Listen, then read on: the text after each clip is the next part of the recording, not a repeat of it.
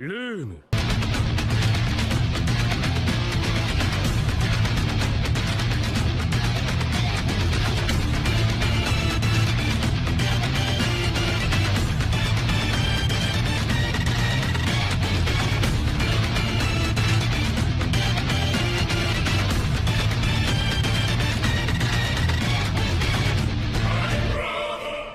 Bonjour à tous, aujourd'hui on se retrouve pour la review du chapitre 918 de One Piece. Comme d'habitude, on s'attaque sur la petite page de couverture qui retrace la grande flotte des Mugiwara, et cette fois on a les trois plus grosses puissances de la flotte de Luffy, équipage des jolis pirates, Cavendish, Barto Club, Bartolomeo, marine des 8 trésors, dont Sai. Donc reste à voir ce qui nous réserve ces trois-là. Peut-être un débarquement à Wano, qui sait. On se retrouve donc là où on s'était quitté la semaine dernière avec un Luffy qui avait fait un Hawk sur Holden. Zoro qui un peu étonné mais je pense pas dans le fond qui dit il l'a fait. En même temps aussi il tape un Tenryubito, c'est pas un pauvre gars avec une tête de lion qui va qui va hein. voilà. Donc on a Speed qui dit mais qui est cet homme? Vous n'avez pas ah bah non c'est vrai ils ont pas le journal à Wano sinon euh, j'allais dire c'est un peu what the fuck mais bon c'est vrai ils n'ont pas le journal à Wano donc c'est peut-être pour ça qu'ils ne sont pas encore au courant de la grandeur de Luffy. Et donc là on a une scène un petit peu cocasse, Luffy qui voit un, cheval, donc Speed de dos, il monte dessus, puis dit euh c'est pas un cheval. Et donc Luffy a la brillante idée de demander à Otama de lui faire manger une petite boule, que j'ai oublié le nom exactement ce que c'est. Et donc Speed, euh, après avoir mangé la petite boule, elle est devenue très docile, donc ça confirme les idées de, que certains s'étaient fait, qu'il fallait Otama pour lui arracher les petites boules et les donner à manger au shifter, euh, voilà, je me suis trompé de manga, au Smile, voilà. Donc Otama, ça va nous le refaire plusieurs fois. On aurait dit Ace. Elle arrête pas de faire des petites comparaisons entre Luffy et Ace. Bon là, c'est normal parce que Luffy il a craché des flammes et Ace son pouvoir c'était les flammes. Donc voilà. Et on arrive donc à Bakura à l'entrée du village où l'eau interpelle Hawkins. Et il commence à lui faire des petites menaces. Je vais te tuer, Enfin voilà, l'eau il essaye d'intimider Hawkins, mais Hawkins n'est pas bête, il reconnaît les tatouages, il reconnaît un peu les pouvoirs de, de avec son Shambles, et au final c'est un de ses sbires qui se fait couper en deux donc. On n'est pas surpris parce qu'on l'avait déjà vu avec Zoro et Luffy juste avant. C'est plutôt l'eau qui est surpris que lui il avait juste rencontré Hawkins sur Shabondi comme ils le disent, mais je sais pas si, je me souviens plus s'il l'avait vu à l'action. Donc on passe, blablabla, tu m'as reconnu, euh, le meurtre c'est pas mon truc, c'était une petite plaisanterie ce que je te disais. Et donc là, le blabla devient un peu intéressant. Bienvenue à Wano, j'ai compris pour votre alliance avec Mugiwara, blablabla. Donc Chloé dit merde, comment qu'ils se sont fait avoir. Il y a l'escargophone qui ressonne, je referai pas mon imitation, vous l'avez déjà eu dans le dernier chapitre. Il ne faut pas abuser des bonnes choses. L'escargophone, on ne sait pas ce qui, qui, a l'appareil, qui nous dit Holden Sama s'est fait battre par ces sales voleurs, qui sont présentement en fuite. Jack Sama a été prévenu. Les espèces de, ils ont fait ce qu'on pouvait imaginer de pire. Donc Chloé a compris, voilà, c'est la merde. Il y a Jack qui est prévenu, il va se pointer parce que taper Holden, c'était la pire chose qui pouvait arriver. Donc, Luffy, Zoro, Otama, ils arrivent sur le dos du chien avec les nourritures, hop, puis ils voient l'eau au passage, puis au trafic. Euh, donc là on me dit euh, t'étais censé être un Ronin dans la capitale, qu'est-ce que tu fous à courir, blablabla, parle, t'as fait capoter le plan, voilà, vous avez compris. Et donc on arrive au village où oh il y a à manger, il y a à manger, donc tout le monde est content. Bien sûr Luffy il fait eh eh, moi aussi j'ai euh, veux un peu de viande donc s'il vous plaît. Et donc Luffy qui est bien un héros qui donne à manger aux habitants de sa bonne volonté, même si derrière lui aussi il a un peu faim. Bon, après il a quand même mis une sacrée patate, donc il a un peu le droit de reprendre des forces. Luffy revoit Trafi, ça fait un bail. Mugiwara tout ça c'est une révolte contre Wano. Donc en gros c'est voilà, la nourriture qui a porté, qui sonne la révolte, alors que le plan c'était juste de battre Kaido en douce entre guillemets, c'était pas de dire euh, on est là, on a foutu le bordel, maintenant tu viens pour qu'on se castagne. Et on repart sur Hawkins.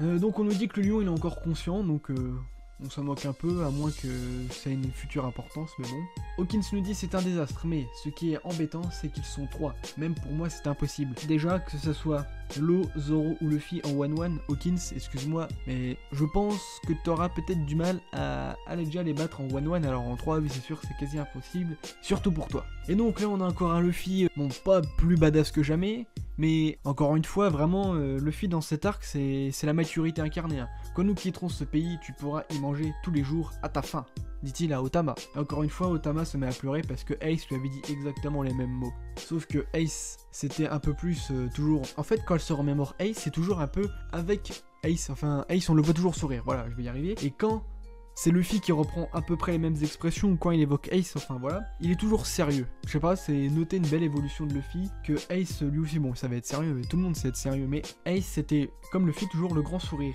Et là, bon, certes, il y a la situation qui fait que on va peut-être pas toujours sourire, mais il y a une grosse différence entre Ace qui était toujours en train de sourire à Otama et Luffy il est toujours, il fait pas la gueule mais il est toujours euh, stoïque, il est énervé quand, quand il est avec Otama parce que ça va jamais. Voilà, c'est là que je voulais en venir. Luffy, en tout cas, on bouge. L'eau, pardon. Les ruines du château d'Oden sont au sommet de cette montagne. On va aller saluer les esprits de Wano. Des esprits Tu vas être surpris. Ouais, ça m'a mis un coup à moi aussi, dit-il Zoro. Tu vas découvrir une vérité difficile à croire. Tous ces noms gravés, quelle est cette vérité? Tombe de Raizo, tombe de Momonosuke, tombe de Oden Kuzuki, tombe de Kinemon. Donc, chapitre 918, fin. Et donc, c'est pour ça que j'aime bien des chapitres comme ça, parce qu'à la fin, tu te fais Oh Le suivant Le suivant Vous avez compris. Alors, on va y mettre les théories. Alors, alors, alors... Les théories qui fusent. Je vais vous donner mon, mon avis, ce qui semble être le plus facile à comprendre euh, dans une histoire de One Piece. Bon, on avait déjà, j'ai déjà discuté avec des gens sur le Discord, donc voilà, il y a une théorie comme quoi Wano Kuni serait, le temps d'y filerait moins longtemps, que en gros tu passes deux jours à Wano, ça fait euh, un mois peut-être euh, dans, l'autre monde de One Piece, enfin voilà, mais on va peut-être faire plus simple. Soit les esprits à Wano, bah, ils peuvent revenir, soit c'est un mec qui les a ressuscités à la style Moria en zombie, mais en mode, euh, pas je prends ton nom, je te le mets dans un mec, enfin c'est vraiment, hop, tu ressuscites, puis toc, mais ça serait bizarre parce que ils ont pas une tête de zombie, Monosuke, Kinemon, enfin voilà. Ils ont pas conscience qu'ils sont morts, donc peut-être pas un inconvénient, mais une des facultés du fruit du démon qui fait ressusciter, t'as pas conscience que t'es mort. Bon après, ce qui fait dire que ça va être plus difficile, ils ont leur fruit du démon. Momonosuke, enfin Monosuke a mangé le smile, Kinemon a son fruit du démon, comme euh, Juro aussi a son fruit du démon, donc bizarre. Hypothèse d'un mec qui a ressuscité avec les fruits du démon, allez, on met un peu de côté. Est-ce que c'est des esprits? Tout le clan Kuzuki se serait fait massacrer quand Kaido a, pris le, le pouvoir à Wano Kuni avec le Shogun. Et donc les esprits, bah, c'est une sorte de, volonté euh, bah, qui, qui les anime euh, malgré leur mort et donc qu'ils ont réussi à se à sortir en mode euh, fantôme et aller chercher un sauveur. Enfin, c'est peut-être un peu plus cohérent que l'histoire du fruit du démon qui ressuscite.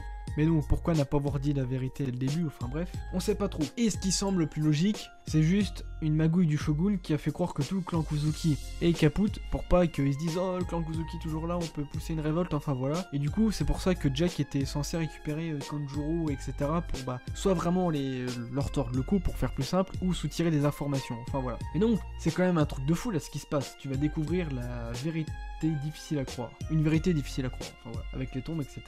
Et donc Zoro, lui, il est au courant, il nous dit, euh, moi aussi j'ai eu du mal.